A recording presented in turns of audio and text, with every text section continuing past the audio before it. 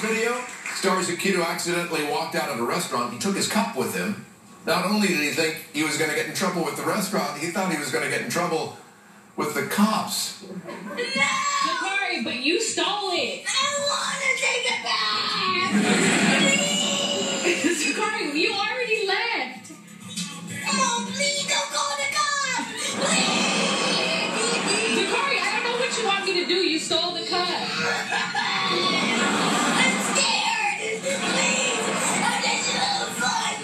On your side.